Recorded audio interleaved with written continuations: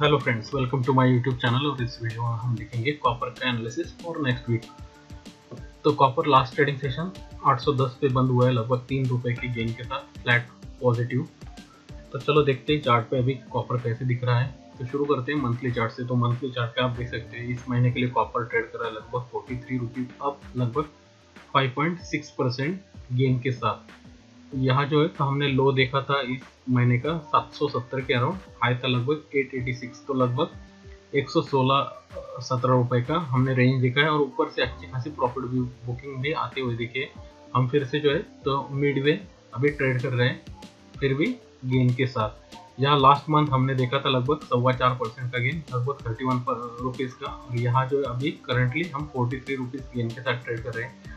यहाँ जो investment target थे मेरे, वो दोनों अचीव हो चुके हैं। ऊपर का भी टारगेट हमने अचीव करने की कोशिश की, मगर ऊपर से अच्छा खासा प्रॉफिट बुकिंग आया है। तो ये दर्शाता है कि शायद ऊपर की तरफ़ most of the major hands ने लिक्विडेशन कर दिया है, और ये शायद लिक्विडेशन आगे भी चल सकता है। तो यहाँ मेरी सलाह रहेगी, जिन्होंने कॉपर में इन्वेस्ट किया होगा तो उनके लिए सलाह है प्रॉफिट बुक कर लीजिएगा। यहाँ अगर कुछ साउथ जाता है तो यहाँ अच्छा खासा लिक्विडेशन भी आता है। और यहाँ पैनिक भी क्रिएट हो सकता है। नीचे अगर कॉपर आता है 680 या फिर 570 के लेवल पे तो वो लेवल अच्छा रहेगा लॉन्ग टाइम इन्वेस्टमेंट के लिए। हमारे यहाँ कॉपर का कोई ईटीएफ नहीं है तो आप कॉपर के जो स्टॉक से कॉपर रिलेटेड स्टॉक से उनमें कर सकते हो।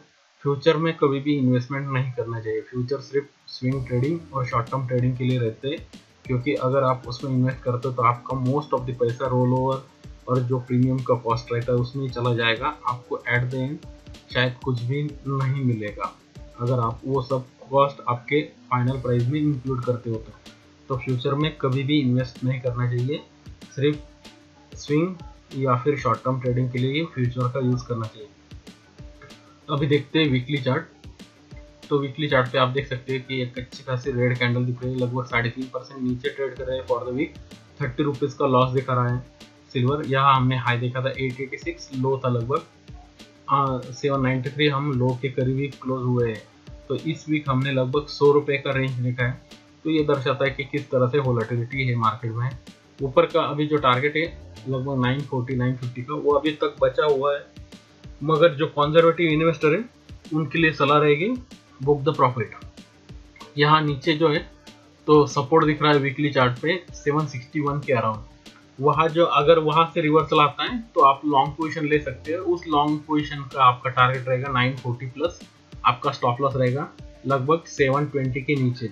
और ये जो है, ये हाई रिस्क ट्रेड रहेगी, क्योंकि यहाँ अगर ये कंडीशन मार्केट की कंडीशन या फिर इन्फ्लेशन बहुत ही ट्रिगर करता है मार्केट को तो ये जो हाई प्राइस है, वो उसमें हमें लिक्विडेशन में देखने को मिलेगा, क्योंकि जो डिमांड है, वो अपने आप ही कम हो जाएगी। तो सप्लाई की सप्लाई फिर भी कम है, मगर अगर डिमांड ही नहीं मार्केट में तो प्राइजेस बढ़ बढ़ नहीं सकते। यहाँ आपको जो है तो प्रॉफिट बुकिंग आते हुए देख सकते हैं। तो यहाँ अच्छे खासे गेन ऑलरेडी मिल चुके हैं। तो मेरी सलाह रहेगी बुक द प्रॉफिट और जो है तो सिर्फ़ ट्रेड लीजिए लॉन्ग या शॉर्ट दोनों साइड पे ही, मगर शॉर्ट टर्म ट्रेड ही लीजिए। अभी फ़िलहाल मुझे लगता है कि जो इन्वेस्टर है, उन्हें वेट करना चाहिए। अगर आपको किसी कारणवश सिल्वर जो है तो 570 या उनकी, उसके अराउंड मिलता है तो वो अच्छा लेवल रहेगा। वहाँ से आप एक्मुलेशन स्टार्ट कर सकते हो with next three to five years view और ऊपर जो है तो फिर से आपको थाउज़ेंड या उसके ऊपर के लेवल भी कॉपर में दिख सकते हैं। फ़िलहाल मेरी सलाह रहेगी वीक एज पर वीकली और monthly chart book the profit अभी देखते हैं डेली चार्ट तो डेली चार्ट पे आप देख सकते हो कि हम अच्छा खासा टॉप बना के ओवर बॉट पोजिशन से अच्छे खासे अभी जो है तो करेक्ट हो चुके हैं। यहाँ एक बाउंस बैक आ सकता है। जिस तरह से डेली चार्ट है, यह मुझे लगता है अगर हम 794 का जो लेवल है, उसको रिस्पेक्ट करते हैं तो हम बाउंस बैक देख सकते हैं 855 टू 850 रुपीज़ की तरफ़। तो जिन्हें रिस्क लेनी है, उनके लिए सलाह रहेगी और ये हाई रिस्क ट्रेड रहेगा। इसमें स्टॉप लॉस जाने की बहुत ज़्यादा संभावना है।